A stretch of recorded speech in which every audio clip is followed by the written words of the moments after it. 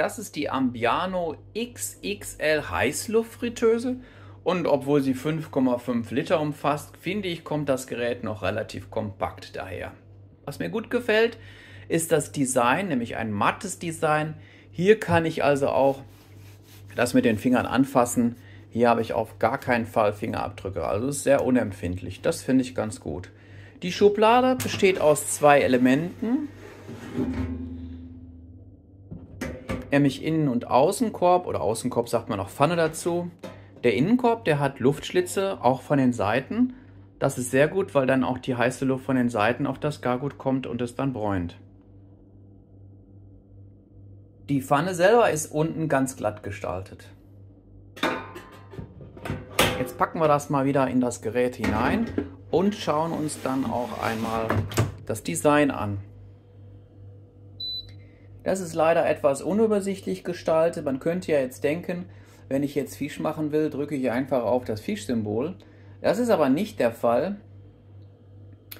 Ich muss hier erst die Menütaste drücken und wer jetzt denkt, dass die Menütaste auf der rechten Seite ist, weil da hier auch noch Platz ist und das würde ja auch gut passen zu den vorausgestellten oder voreingestellten Programmen, das ist aber nicht der Fall. Man findet die Menütaste ziemlich versteckt unten links. Man muss die also erst suchen. Und erst wenn ich dann hier drauf drücke, mache ich jetzt mal. Dann reagiert hier oben entsprechend ein Symbol, welches dann blinkt. Jetzt kann ich aber immer noch nicht hier drücken.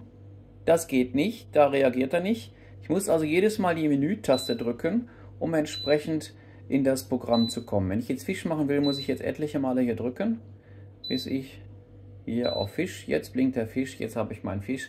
180 Grad übrigens, schöne große Symbole und schöne große Zahlen, das gefällt mir sehr gut. Und hier würde dann vorschlagen 10 Minuten.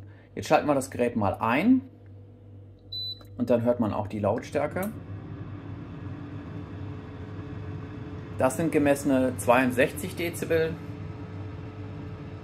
Damit zählt das Gerät nicht zu den leisesten. Allerdings gibt es auch noch lautere Geräte.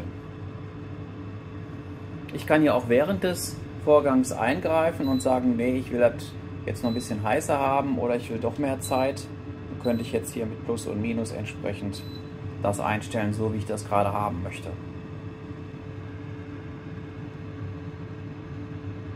Ja, das war die Präsentation von mir zur Ambiano Heißluftfritteuse.